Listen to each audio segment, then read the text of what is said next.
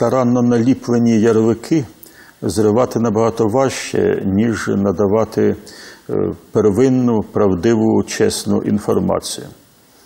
Це в повній мірі стосується лицарів незалежності України, е, передусім таких, як е, Симон Петлюра, Євген Коновалець, Степан Бандера.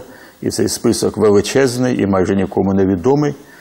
Але про цих трьох, названих мною, ми знаємо передусім від е, міфотворців Російської імперії, спершу е, більшовицької, потім путінської, і вже е, протягом майже століття велася величезна робота по нагнітанню негативів навколо цих світлих особистостей, яскравих людей, справжніх природжених вождів. От, гадаю, з цього ми і можемо почати розмову і е, про Євгена Коновальця, оскільки ми перед цим е, мали можливість розповісти про Симона Петлюру, а Коновалець е, в значній мірі співпрацював із головним отаманом.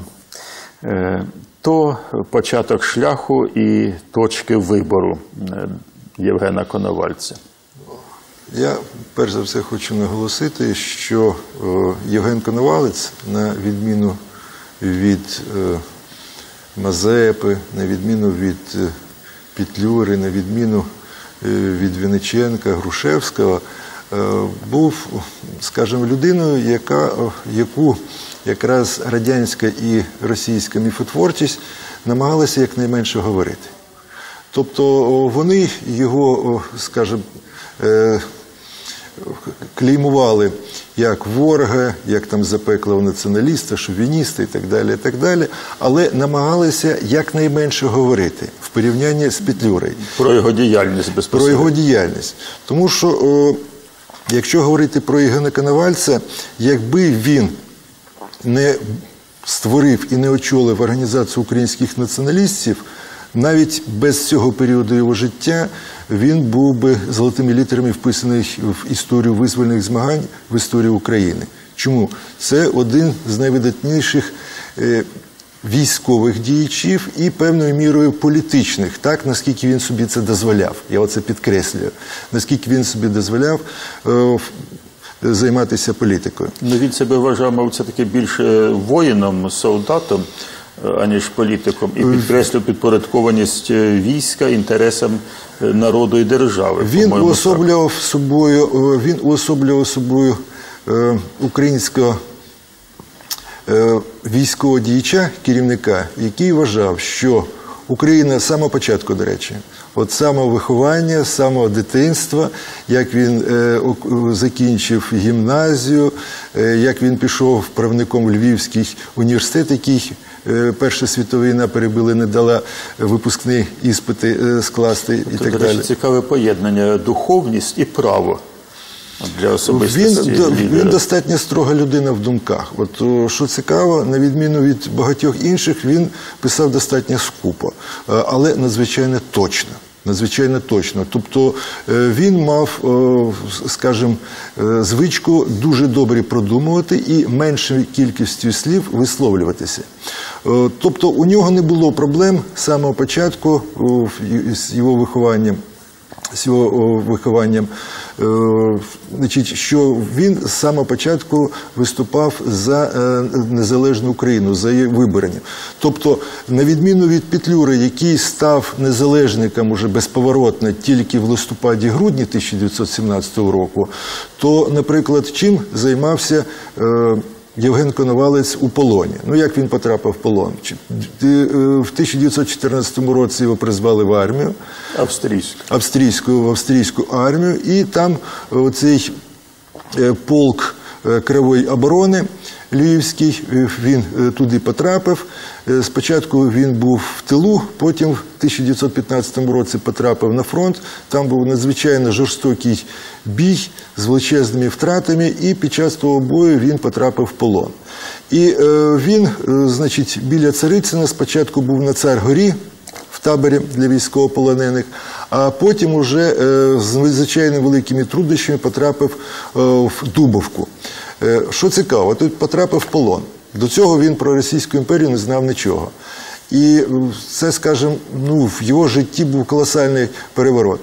Перше, що сталося, коли він був в Царгорі, а там були з Австрійської імперії німці, і австрійці, і румуни, і угорці, і так далі. І так далі. Тобто До речі, німецьку мову він напевне знав. він знав кілька мов, і він був перекладачем і представником е, всіх військовополонених без огляду на звання і національність, національність і мав величезний авторитет як в- середовищі військовополонених, а там була тільки горстка українців галичан, е, так і е, в- адміністрації. А коли він знав, що в Дубовці якраз знаходиться велика кількість українських полонених полонених. Серед них, до речі, був і е, Сушко, і Андрій Мельник, майбутні його соратники. Е, то, тобто з українських січових стрільців, його не хотіли відпускати. Він тут був дуже цінний. І що цікаво, саме там він, е, знаходячись в полоні, знаходячись в полоні, організував культурне українське підкреслю, українське культурне просвітницьке життя, величезний хор на 60 чоловік. Е, Спортом по військовому займалися щодня. Е, Там же були навчальні курси по дисциплінах, включно з математикою і так далі. До речі, це зайвий раз е, змушує нагадати, що навіть табори жахливого царизму, кривавого Миколи, от, е, очевидно, дуже сильно відрізнялися від е, сталінських е, концтаборів. В таборі з австрійської армії було понад 2 мільйона е, е, військовополонених.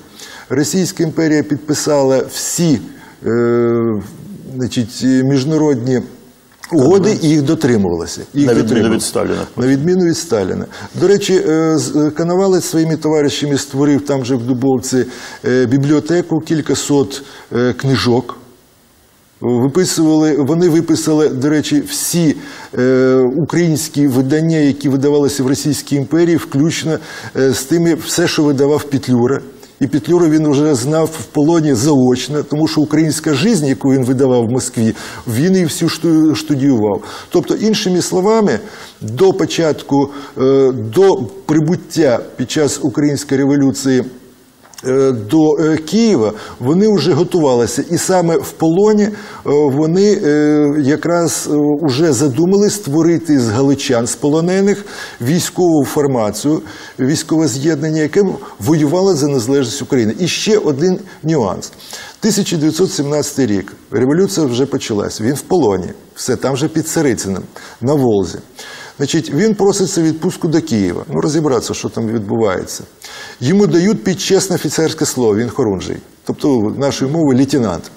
Він приїжджає в липні 17-го року, е, знайомиться з Петлюрою, знайомиться е, з Галицько-Буковинським комітетом, уже тоді починає прощупувати, що треба створити січових стрільців, і повертається.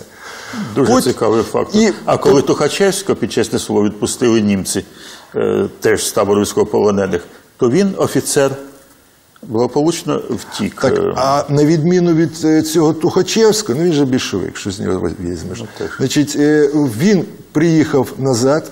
І після того, коли дивляться, що ще не відпускаєте, це були інтриги тимчасового уряду. Вони не хотіли відпускати українців галичан, а їх було 150 тисяч в полоні по Російській імперії.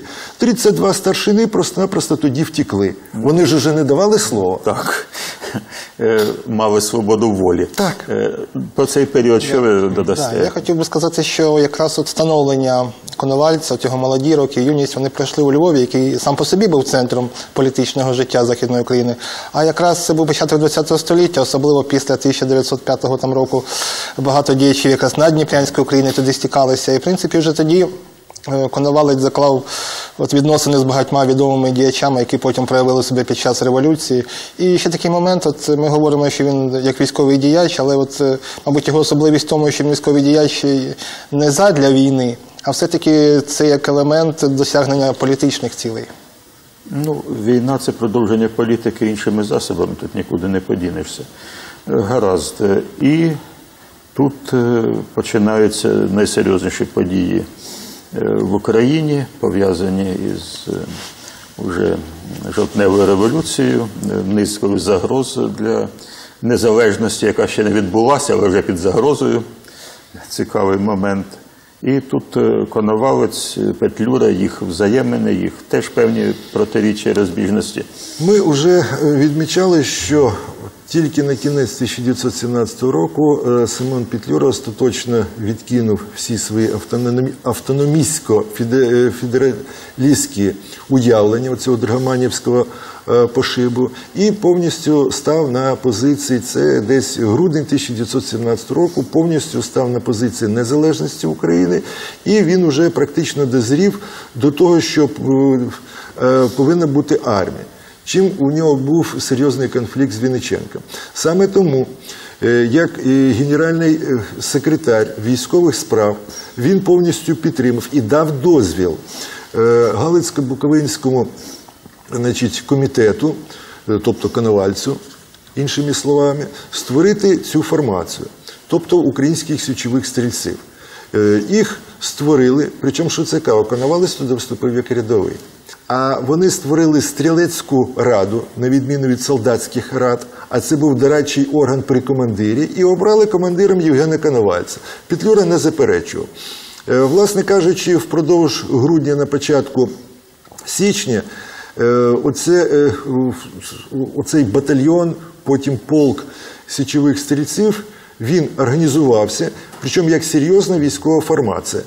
Е, І Причому чи тоді, чи те, що пізніше, навіть Венеченко казав, що це е, чи не найбоєздатніша, а точніше найбоєздатніша складова е, війська УНР. Ну, в листопаді-грудні 1918 року, коли Вінниченко знав, що е, Галичина просить українських січових стрільців Коновальця повернутися до Львову, щоб підтримати е, листопадовий зрив і так далі, от, то він страшно перелякався. Чому? На той час це була єдина боєздатна сила, це, е, на цьому трималось все. Вся директорія трималася. От. Стрілецька рада е, обговорили це питання тоді, і, е, як потім влучно сказав Коновалець е, своїм опонентам, шлях до незалежної української держави лежить не через Львів, а через Київ. Блискуча думка. Керівники української революції, діячі Центральної Ради, вони дуже недооцінювали якраз значення власних збройних сил. А от якраз Коновалець відзначався тим, що він з самого початку чітко знав, чітко розумів, що якраз ну, обов'язково треба мати своє військо. І більше того, якраз його загони відзначалися якраз свідомістю, чому і була в них така от звитяга, така надійність. Врешті, якщо згадати, 17-й рік Центральна Рада має величезну кількість військ, але будь-яка загроза, вони одразу приймають нейтральну позицію, просто дивляться як телевізор, хто переможе. І все. А тут якраз повністю свідома Мабуть, позиція. Треба зауважити, що е, Коновалець, на відміну від е, решти, по суті, е, керівників України тодішніх, він зазнав в ролі учасника бойових дій, що таке фронт, що таке смерть, що таке бій. Зазнав, що таке полон, і, мабуть, не дуже хотів до цього стану повертатися. Він практично розумів, е, що таке збройне протистояння, коли йдеться про створення незалежної держави. Перепрошую, продовжуйте. Ще, ще одна відмінність е, Коновальця від е, Петлюри, Вінниченка, Грушевського полягала в тому, що якщо ті на ходу займалися імпровізацією, дозрівали, доходили до якоїсь думки, то Коновалець спочатку все прораховував, планував, а потім робив. В 1917-1919 роках, тобто в роки Української революції, він робив все те, що він продумав в полоні. Вибачте мені, було саме так. Ну, був І- час подумати до того ж. Абсолютно вірно. Він ні в чому не помилявся, крім того, що він сам пише про це дуже самокритично, дай Бог, щоб сьогоднішні командири і керівники вміли так говорити. Це з його спогадів причинки Української революції. Ми були дуже молоді і дуже недосвідчені. Все воно вкупі. Ідеалізм, молодість, недосвід і наївність почали мститися на нас з перших наших починів на київському ґрунті. Найбільш попеклись ми на нашій вірі у провідників тодішнього українського революційного руху. Вони користувалися у наших очах недосяжним авторитетом. І хоч як боляче відчували ми їхню нехідь до нашої ідеї самостійної та незалежної української держави, проте ми не зневірилися у них, та швидко ми були змушені ставатись критичніше до діяльності діячів Центральної Ради, бо бачили наочно, що їхня політика вводить у, у краю замість ладу щораз більшу анархію, яка не тільки виключає організацію війську, але веде державу до неминучої руїни. Дякую. І от І от тут е, виникає ще один е, важливий момент. От, е, ну, зазнайомившись ближче, зрозумівши підходи і методи керівників Центральної Ради, Коновалець невдовзі мав нагоду зіткнутися з лідером іншого типу, а саме з Скоропадським, з гетьманом. І січові стрільці в якийсь момент е, пішли з ним навіть на співпрацю. Так, вони пішли на співпрацю, тому що для них було найголовніше і найдорожче і для Коновальця, і для всіх його соратників це незалежна держава. Е, До речі, е, чому Центральну Раду розігнали? Євген Коновалець персонально кілька разів всім Вінниченку, Грушевському, і багатьом іншим діячам Центральної Ради неодноразово казав про те, що буде переворот і що Скоропадський хоче взяти владу за допомогою Німеччини. Він вже перед буквально в той день, коли це відбулося. Е, 29 квітня він вранці приходить і каже, що може бути переворот. Давайте ми посилимо охорону центра... будинку Центральної Ради.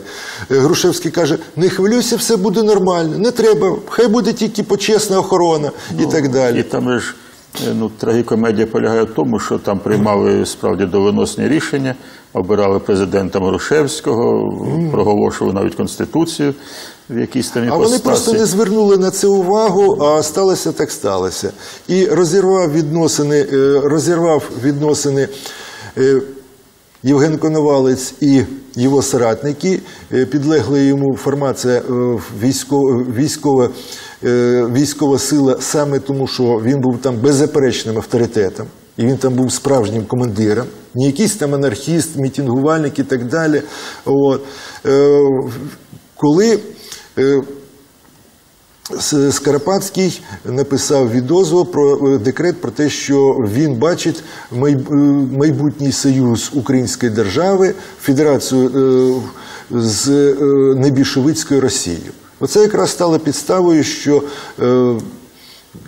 Коновалець пристав разом з січовими стрільцями до директорії, і фактично завдяки йому був виграний бій під Мотовиловкою.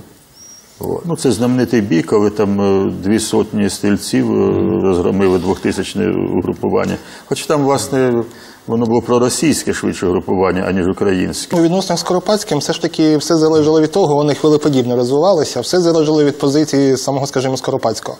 На перших порах ми бачимо, да, що у них була певна ворожнеча, січові стрільці розпущені. У серпні дається згода, все-таки Коновалець, співрукувавши, висуває прохання про те, щоб відновити ці збройні загони, Скоропадський дає добро. Тобто на той момент е, їхні цілі співпадали. Він бачив, що Скоропадський як державний діяч, в принципі, йде в правильному руслі. Він е, мав надію, що це правильні, правильні дії, він намагався допомагати певною мірою. Але після дійсно того ось переходу на Ну, бік. це був фатальний крок. Да. Хоча я чомусь думаю, що Скоропадський, як спочався Богдан Хмельницький, всерйоз цього всього не сприймав, але мусив іти на певні Ми ж розуміємо, да. хоча це стало е, фатальним для нього, да, і То, що, відвернуло то, що сталося з Карпатським, провина як Скарпатського, так і діячів Центральної Ради, які хотіли так, як вони хотіли. Да. А не, Не за, е, вони хотіли якусь Україну, а не просто українську державу. От Євген Коновалець, у нього була ідеальна позиція.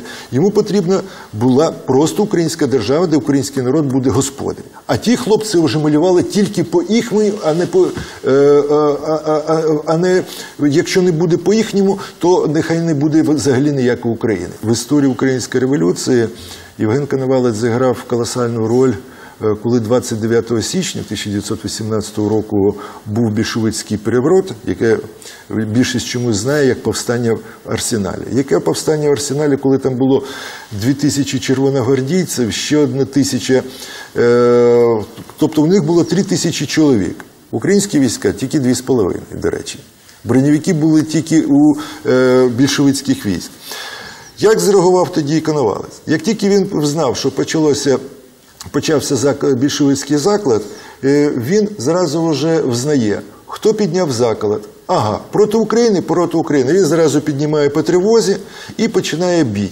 Тобто, завдяки йому і кошу Слобідської України була врятована ситуація. Тобто українська Тобто держава, тут Петлюра і Коновалець в тандемі діяли а цілковито. вони діяли в тандемі. І можна я додам, що там січові стрільці втратили до 50% особового складу вбитими і пораненими. дуже жорстокі Жорстокі бої, не просто Особливо так. на да. Там страшні були бої, але там був, скажімо, гніздо заколотників. От вони зламали його і все. Тобто наше наївне уявлення, що там завод Арсенал, що там його оточили банди гайдамаків, Жменько робітників, там да. бездовинних робітників, то це все Які там цілковита робітники? дурниця. Якщо дивитися на фотокартки, це ті, хто мав бойовий досвід, е, це люди, які воювали.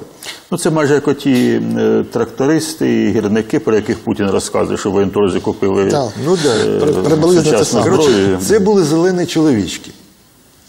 І е, ще одне. Відміна, е, чому була настільки стійка, е, скажімо, полк, бригада, потім корпус січових стрільців, він був е, найменше, скажімо, ура- уражений більшовицькою пропагандою. А тому, що одна, один з напрямів роботи, яку постійно вів Євген Коновалець, це якраз політичне виховання особового складу, роз'яснення і так далі. Він ще в Царицыні тоді зіткнувся з більшовиками. Вони на нього справили вкрай негативне враження як Але але він і отримав прекрасний досвід інформаційної війни і тими Да. методів її, якими послуговувались більшовики. Абсолютно. І зрозумів, що треба протистояти, вести контрпропаганду, як потім казали. Я хочу е, ще наголосити, що, е, мабуть, от 1919 рік е, січові стрільці, які перетворилися в корпус, потім фактично в два корпуси е, січових стрільців під командуванням Євгена Коновальця. А ви не забувайте, що його звання було лейтенант.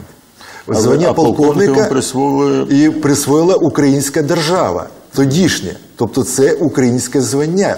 І, і е, всі, коли ми говоримо полковник Євген Коновалець, ми говоримо про полковника армії Української Народної Республіки. І про це мало хто підозрює. суттєво. От, це суттєво. Значить, е, чому, в чому була ще одна особливість е, січових стрільців? Оцей корпус, корпус він мав внутрішній адміністративний е, господарський апарат. І фактично директорія, не спромогшись створити в Україні державний апарат, спиралася на його.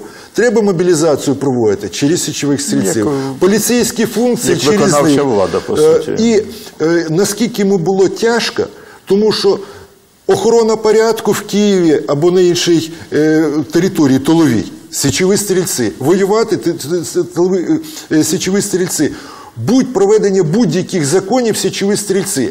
Тобто вони виконували роль і внутрішню, і зовнішню. Це той аспект, про який практично ніхто не говорить. Він витягував державу.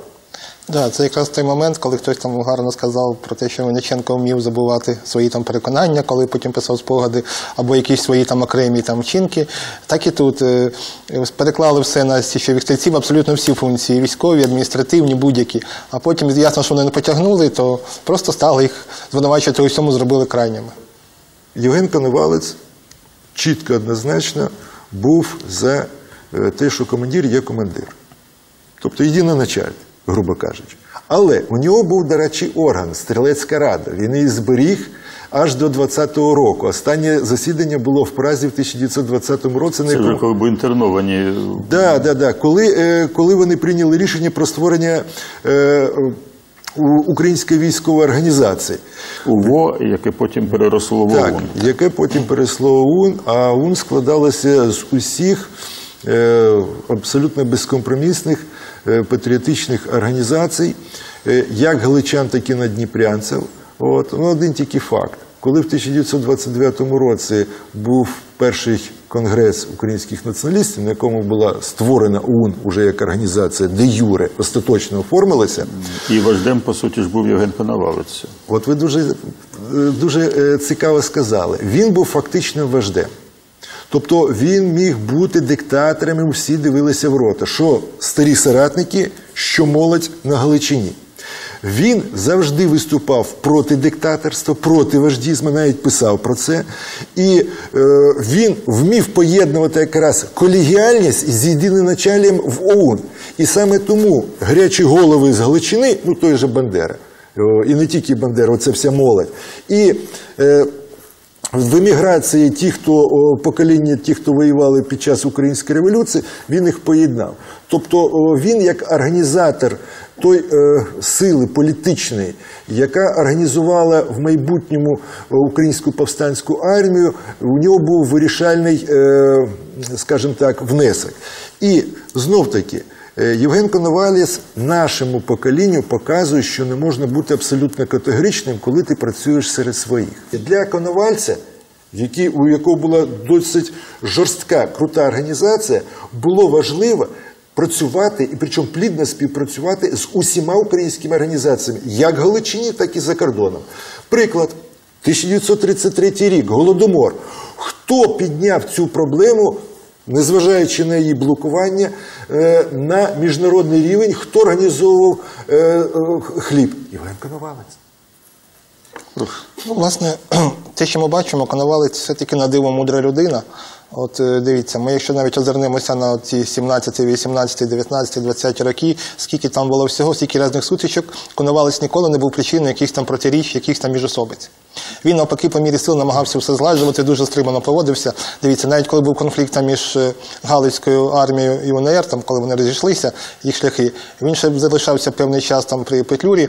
Вже лише коли вже Петлюра підписав угоду з поляками, тоді просто склав повноваження, без всяких гучних скандалів. Але коли поразкою все завершилося, потім все одно знайшов з ним контакт. Без проблем це робив. І е, в чому, в принципі, ще от, мудрість велич Коновальця? В тому, що він якраз е, вважається фундатором цих нових підходів, нових шляхів, коли от поразка, коли всі засмучені і думають, що ж робити і як його діяти. От він чітко якраз бачив той шлях, який потім і намагався втілити життя. От починаючи з цієї військової організації, а потім далі, яка перейшла в ОНУПА. І, безперечно ж, е, такою людиною, таким е, грізним суперником не міг не зацікавитись особисто товариш Сталін, який знов таки особисто дав команду Павлу Судоплатову організувати вбивство е, Євгена Коновальця. Коли був голодомор, якісь там інші події. м, Коновалець і його організація намагалися ці питання винести на Лігу націй, тобто зробити їх загальнодоступними. І загалом цей ось комплекс е, різних всіх його дій, ну, звичайно, ставав вже кісткою в горлі для Москви. Судоплатов е, дуже добре був підготовлений, дуже був підготовлений, і він е, зумів, е, скажімо так, втертися в довір'я до провідника, до Євгена Коновальця. Он меня опекал как молодого человека, будущую свою опору. 23 травня 1938 року у е, Роттердамі в Нідерландах йому е, передали е, коробку вибух, коли е, Судоплатов передав, е, передав цю коробку і потім пішов, потім пішов, стався вибух. Радіус якого був 5 метрів. Це надзвичайно потужна вибухівка. На той час не було такої вибухівки, щоб, е, скажімо, невелика вага, ще з е, е, годинниковим механізмом, щоб можна було це зробити, тому що Євгена Коновальця буквально розшматували. Е, Абсолютна безпощадність. Європейці ані тоді, ані зараз, в принципі, не можуть е, зрозуміти, що що в Російській імперії, що в Радянському Союзі, що в Путінській Росії, е, методами, якими вони працюють як розвідка, як підривна сила, воно несумісно з з цивілізованим веденням війни. І ніякі е, сучасні бойовики американські не можуть передати той жорстокості і підлості е, російських і радянських агентів, які працювали. Тому Саме на це, мабуть, розраховували, коли труїли полонії е, в Лондоні, що ну нікому в голову не зайде, що може бути задіяний такий небезпечний, така небезпечна речовина, такий небезпечний елемент радіоактивний. А це пряма щоб, паралель, е, так? а І неможливо було б через деякий час встановити, що ж спричинило загибель е, цього борця проти путінського режиму. Ну, так же саме, як Бандеру в свій час. Ніяк не могли второпити з чого, думали, що з серцем щось. А вже ж. Прошу. Да, Російська імперія мала і Радянська імперія мала величезний досвід таких ось терактів. Вони без проблем знищували кого тільки можна, всіх противників, хто їм не подобався. Для українців це, звичайно, була велика втрата, тому що втратили справжнього патріота, людину мудру, розумну. Я думаю, що саме головне це от е, там, жертовність, тому що в багатьох випадків, особливо для офіцерів, це важливо. Найважче, найтяжче це перші такі бої, коли ти не маєш досвіду і вступаєш в перестрілку, да, попадаєш під такі серйозні обстріли, в тому числі і фосфорними, е, фосфорними снарядами. І саме, мабуть, що відповідальне це населений пункт село Мала Орлівка, де наш батальйон поніс фактично перші втрати, такі бойові. Е, Це і Ігор, це і Деніс. На подвигах теперішніх героїв і на подвигах тих героїв, часів Симона Петлюри, часів Євгена Коновальця, потрібно виховувати сучасні збройні сили, сучасне військо. Да? Традиція, історія це дуже важливе виховання. Тобто це патріотичне виховання. Да? Ну, це важливий аспект, щоб люди розуміли, за що вони не, ну, що, що ми маємо історію, да? Тому числі історія Збройних сил, вона тягнеться вже з давніх часів. Тобто це не часи початку 90-х, а це все-таки часи і Симона Петлюри, да, і Коновальця.